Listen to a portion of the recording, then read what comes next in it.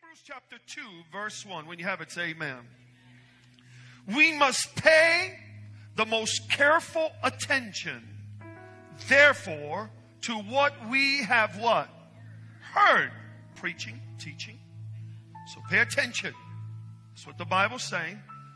Let's pay close attention to therefore what we have heard so that we do not what? Drift away. Repeat after me. Your word is written in my mind. Your word is hidden in my heart. Your word is a lamp unto my feet and a light for my path. I will seek you with all my strength. I choose to live my life according to your word. Your word, O oh Lord, is eternal. Amen. You may be seated this morning. As you're taking notes, the title of this sermon, and those that are listening to me, Signs of Drift. A Russian cruise ship called the Orlova was launched in 1976 to explore the Antarctica waters. In 1976, it was considered one of the strongest ships. Had a thick hull to withstand the impact of a massive iceberg. The ship was named for a popular film star. After more than three decades, however, the ship lost its usefulness. When harbor fees went unpaid in Newfoundland, a salvage contractor paid $250,000 that was owed. Two years later, a Caribbean company bought it and hired Transport Canada to tow the now disgraced Orlova to a scrapyard in the Dominican Republic. True story. On the way south in the Atlantic Ocean, the tow line broke and the ship drifted away. The towing barge lost contact and Transport Canada was unwilling to spend the money to search for it. They were convinced that the currents would take the ship into the vast Atlantic Ocean, far away from Canada and the United States. Months later, the U.S. satellites showed that the abandoned ship was about 1,300 nautical miles off the west coast of Ireland. It was still drifting eastward and the current. After that, the ship disappeared.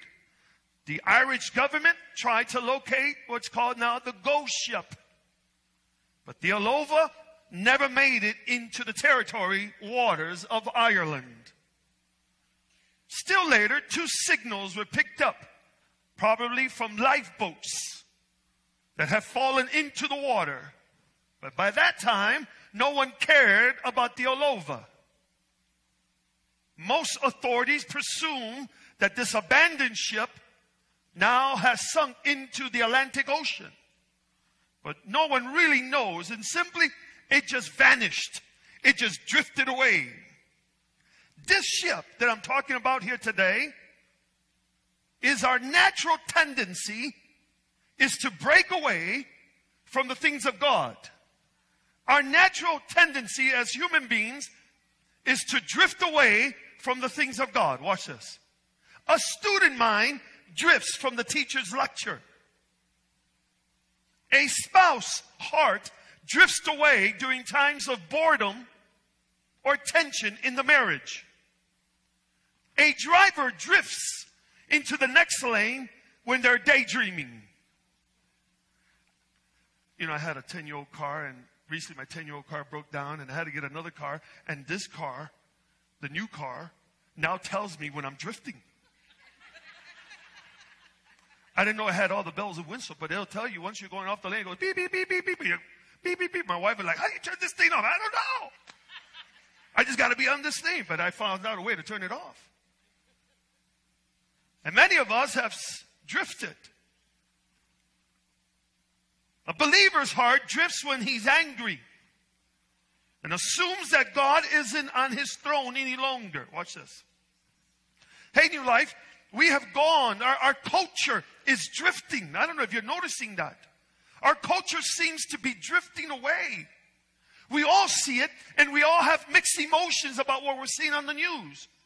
We're afraid, we're concerned, we're saddened by the drift in our culture.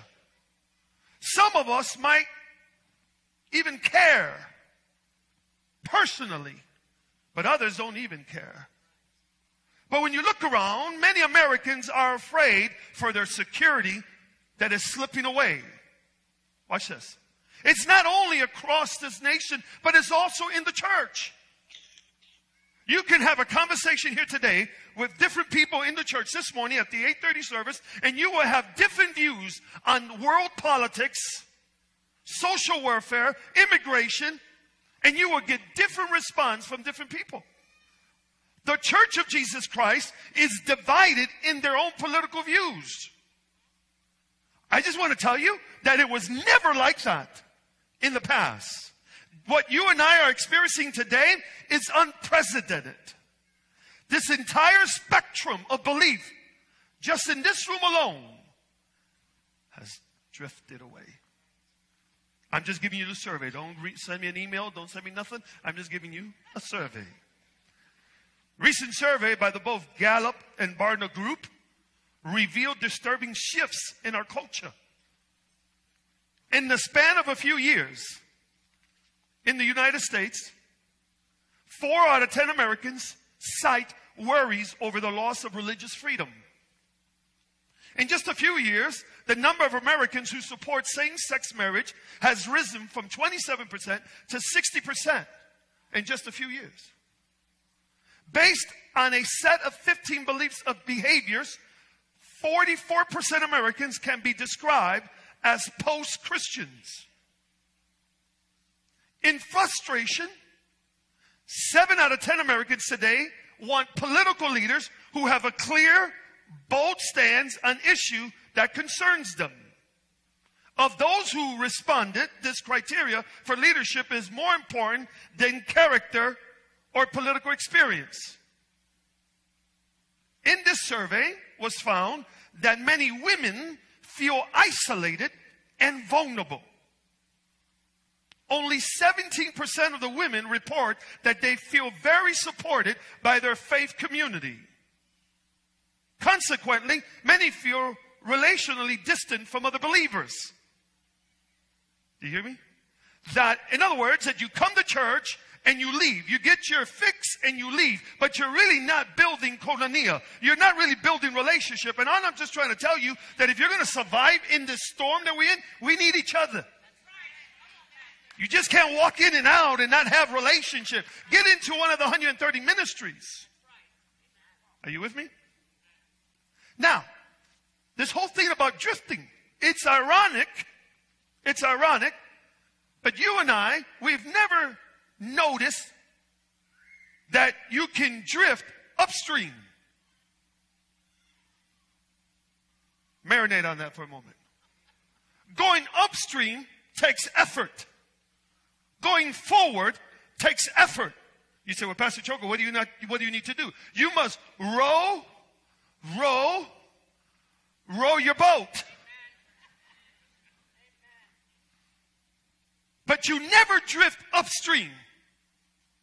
And if you allow yourself in your Christian walk, in your faith, you will be drifted away with culture.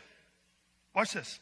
You will never, you never drift upstream and you never drift against the tide.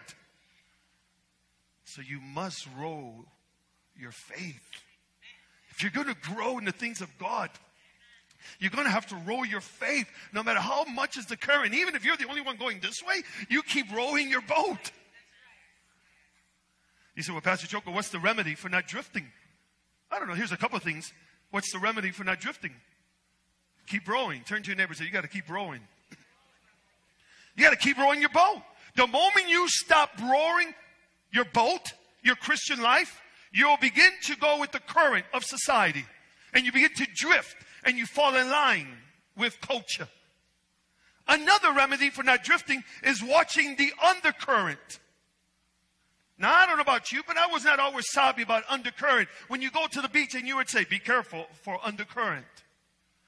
Well, let me just explain to you what undercurrent means. That the water can be going this way on the surface, but on the bottom of this, there's another current that's happening that's going opposite that can take you. Did you follow me? You could see with your eyes the current going this way, but under the current you cannot see. And if you're not careful, temptation that you do not see takes you with you. Hey, let me just tell you here this morning that drifting away from the things of God is not something that's so sudden. It's very settled. Drifting away. How we get we how did we get here, Pastor Choco? How did we get in this drifting concept? Let me just give you a couple of things. The young adults have grown up during the time of a rapid culture change, but those, those shifts began long before they were even born, the young people. Older Americans have witnessed a series of events that have led us to this point. The prosperity of the post-war World War II years created a tsunami of change as memories of the Great Depression. And the war quickly faded away in the rearview mirror. In the new rules, Daniel writes, he describes how our culture have moved from self-sacrifice before and during the World War II to self-indulgence, self-indulgence in the decades after the war. During the World War II, we were a society that was self-sacrifice, but after the war, we become a, society that's self-indulgence. People were deprived for a long time, and suddenly they had the opportunity to have it all. In the 1980s, there was a boom of prosperity. Modern advertisement made it a big promise. Look at the advertisements. You remember back in the day, at least when I remembered, the, the, the, the advertisement in the news were just so simple. It was just a piece of paper. Yeah. Even the weather. But advertisement has changed even itself. Before ads simply described how a product can serve you. But today, this advertisement today makes promises beer commercials, bank commercials, car commercials make promises, benefits of popularity, financial security, close friendship, peace, freedom, sexual attraction. If you have these things, advertisements are promising things that you would have. Before in the 50s and the 60s and the 70s, the advertisement was what it can serve you. But now the advertisement is coming with the promise if you buy this, you would be popular you would be sexy. Over promising, over, became completely normal in our society. With increased income in the 80s and the 70s and popularity and prosperity, parents had enough money for their children to go to college. Watch this. Until that point, our nation's history, the vast majority of young people received at best a high school education. And then when they finished high school, they would go work in the farms with their family members. They never thought about leaving their house and going to another state and get education. It was unheard of until the boom of prosperity. Geographically, that a young woman or young man would leave the family structure and go to another state and learn. And then when they do that, all hell breaks loose. New lifestyles happens. No longer do you have the grandparents and the parents giving wisdom to that child. School, high school student graduates, now they have this opportunity to go away from home, move away from home, brought, what that brought them, their, their, their, their, their faith in God, now they feel freedom from their parents. And they experiment in lifestyle choices that they would have never dreamed of had they been with mom and grandpa. I'm just trying to tell you there has been a shift in our society. And there's four responses that happens to this shift, this drift that we're experiencing. Four responses. Let me give it to you here today. Number one, we accommodate. Accommodators look at the shift in attitudes toward gay marriage or guns or immigration, the use of force by police or any other important cultural change, and they say, well, it's no big deal. Pastor Choke is no big deal. Everyone deserves a fair treatment. And besides, this is a big one. Watch this. No one is right to judge anybody. So they accommodate whatever's happening in the culture. That's what they want to do. So this is one of the things, one of the four things that happens. Number one, accommodate. Number two, another response to this cultural shift is oppose. These people oppose change because they're terrified by the way of life is going to be taking them away. Or worse, it has already been stolen from them. They only listen to friends or commentators who reinforce their fears, their fears, and inflame their anger. So when you see the culture shape, the, the drifting away, one thing is to accommodate it, another thing is perhaps oppose it. Another way is to withdraw from it. These people who are withdrawing away from what they're seeing in the culture, this group assumes, what's the use? My voice means nothing in the big debates about immigration, gun control, racial conflict, same-sex marriage. What's the use, Pastor Choco? I don't even watch the news anymore. I don't want to get in the line of fire between people who are angry. So uh, what I do, I withdraw. Y déjalo. These are some of the responses. But here's the response. Now, these responses, they're, you know, for me, they're wrong responses. These three responses to culture shift may seem completely good and right, but they undermine our identity as strong, compassionate, wise children of our heavenly King. For instance, those who accommodate change lose the truth. If you start accommodating change, then you have lost the truth of the Bible. Behaviors that were called sin in a generation ago become acceptable behaviors today. Today we don't call it sin, we call it behaviors. Just saying. Those who oppose change can lose their sense of grace, love, and mercy for those who disagree with them. And those who withdraw too quickly lose their God given opportunities to represent Him in a lost and confused world. So, what's the answer, Pastor Choco? You must engage. Number four, you must engage. Jesus calls us to be in the world, but not of the world.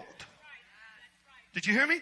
He calls you and I to be in the world, but not of the world. When the New York Times called me and they asked me about the same-sex marriage law of the Supreme Court, I told them that the, the Church of Jesus Christ has always been at odds with culture. And we're going to continue to be the church that offers transformation and love towards people. We're going to engage the marginalized. We're going to engage the lepers. We're going to do what Jesus did. He wept with those who had lost loved ones. He, he, he, he felt genuine sorrow when others had different paths. He stood up against injustice. And he boldly faced the religious leaders who despise him for loving the unlovable. We're in the world, but not of the world. We're to be salt and light to the people around us. With this identity, look at me, with this identity and perspective, with people of truth and grace in our engagement with people, you and I follow the example of Jesus. I'm not afraid of anybody. I don't care if you got leprosy. I don't care if you're sick. I don't care if you got AIDS. I don't care who you are, whether you're black, white, Hispanic. I have no problem. I want to be Jesus to you. Whether you're straight or gay, you're low. I don't care. I'm going to engage you like Jesus engaged you. Watch this. I believe God wants me, God wants you to engage the demanding people and the difficult issues in our culture. most people, including many Christians, are putting their hopes on an earthly kingdom. You hear me? Our hope is not in an earthly kingdom. Our hope is in a heavenly kingdom. N.T. Wright, who's a New Testament scholar, Anglican bishop, he wrote this. And he observes that Jesus came just as he predicted, but not at all as people expected. He writes this People, that's you and I, they were looking for a builder to construct the home that they thought they wanted, but he was the architect. He's not coming to build your house with your plans. He has a plan.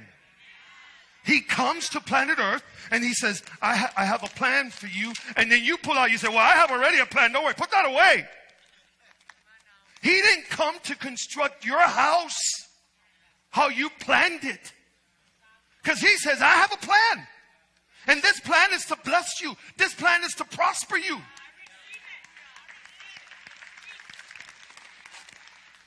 N.T. Wright says this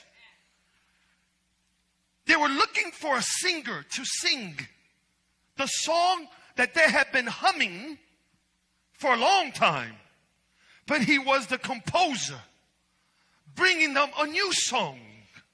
Listen, church, he's, he's the composer. And he, when he came, he says, I have a new song for you to sing. But they've been humming a song for 400 years. Thousands of years. He's not coming to sing your song.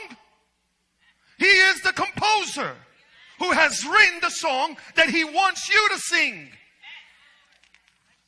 I know culture is shifting and I know that people want to do what they want to do, but God says, I have a plan. I have a song.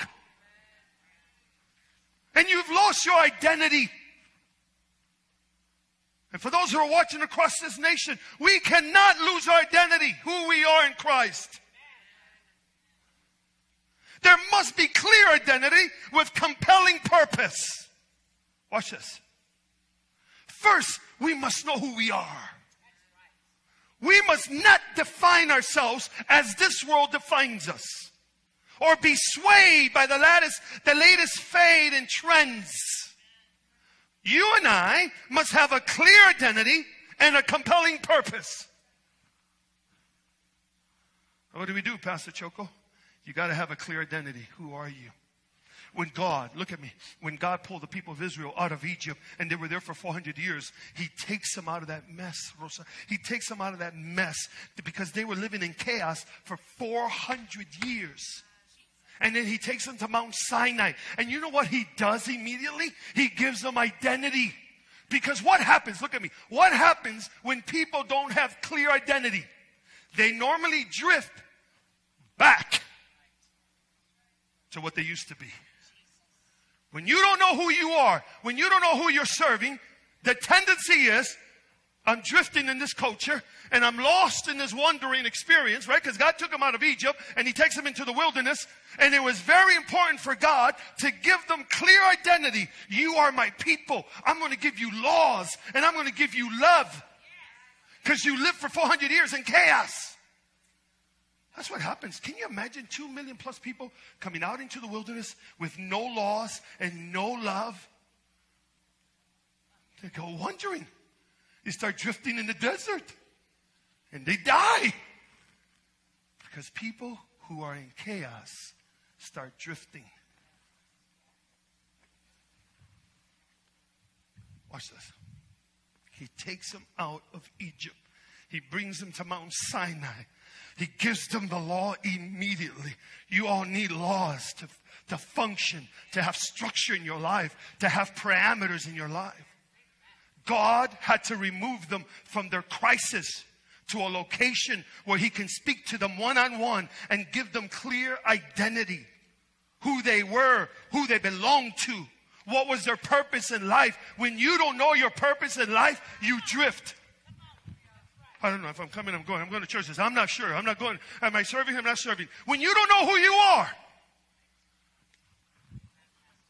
But remember, those who drift never drift upstream. Because to go upstream, you must row, row, row your boat. Because the tendency is to drift back to where you were before. When there's no clear identity in your life, you start drifting.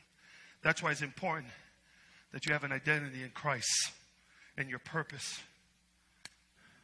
Some of you here today, you have found your you found Christ and your identity is in Christ. I'm a new creature.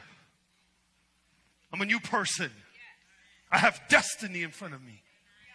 Nothing can separate me from the love of Christ. Nor famine, nor nakedness, nor sword, no culture that's drifting can separate me from the love of Christ. That's why clear identity is crucial. It's important to establish your identity this morning so that you don't begin to drift in your faith or to return where you used to swim in the pool of blood.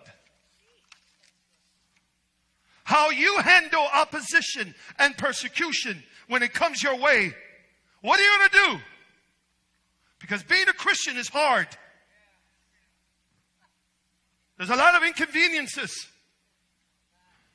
Look at, look at what the apostle Paul wrote in the first century church to the Christians.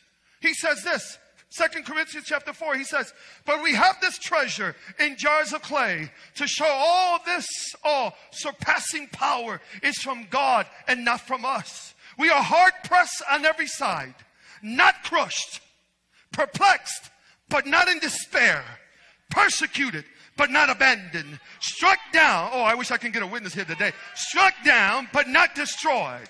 We've always carried around in our body the death of Jesus so that the life of Jesus may also be revealed in our body. He says in Acts chapter 20 verse 24, I consider my life worth nothing to me. My only aim is to finish the race and complete the task that the Lord Jesus has given me. The task of testifying to the good news of God's grace. Watch this. Stand with me. Stand with me. Stand with me. Stand with me. This culture is drifting, but the church of Jesus Christ will not drift. Some of you are here today, you've drifted in your faith. You've accommodated, or you've opposed it, or you've withdrawn from it and said, That's not my problem. I'm trying to tell you as your pastor, engage it. Don't be afraid. Love on people who look different than you, act different than you, walk different than you. That's not going to change my conviction. If I sit down with a Muslim or someone who's gay or straight, that's not going to change my conviction. I know who I am in Christ Jesus. I know that I've been re- redeemed. I know that I've been saved. But if you and I are not careful, because drifting is subtle. Pastor Choco, what are some of the signs that I've drifted in my spiritual walk? You don't pray as often. You don't pray. You go days without praying. You've drifted, my friend. What's another sign? You don't even read the Bible anymore. You hold on to scripture that you've memorized for years. You've drifted. story of two young boys, two young men who were fishing above the, a low dam on a river in their hometown. True story. As they were concentrating on catching fish, they were unaware that they had drifted until they were far from the water flowing over the dam. When they realized their situation, that they were by the dam, the current near the dam had become too powerful for them to keep the boat going forward, and the dam was taking them in. The boat flipped over. Two boys went under the dam, through the crevices in the rocks, boulders that were waiting for them. Caught at the bottom by the swirling of the waters under the rocks. The two boys never came back to surface. After days of relentless searching, the divers finally found one body. Then three days later, they found the other body. We're in our boats. You're in your life. And you're out there doing worldly stuff and earthly pleasures. And you're not even noticing that your life is being taken into the dam. You're not even worried about where you're at spiritually. But little do you know, you're about to go over the dam. Because you're all into the earthly kingdom. I told you last week, I am not from this world. I'm here for a little while. Set your sights on the heavenly kingdom. Come on, somebody. You and I are in this place for a little while. But while we're in this world, keep rowing your boat. You may be the only one in your family going upstream, but I am not going to accommodate. I'm not going to oppose it.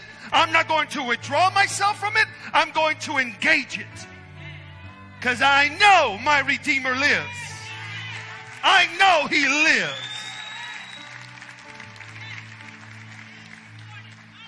With every head bowed and every eyes closed, He's come with His plans. He is the architect. He's come with His plans. He's got a song that He's written for you. And yet you tell him, I have my own song. He says, I got these architectural plans and I want to build this life for you. But you've rejected my plans. And you're about to go over the dam. You're drifting with culture. It's not too late. It's not too late.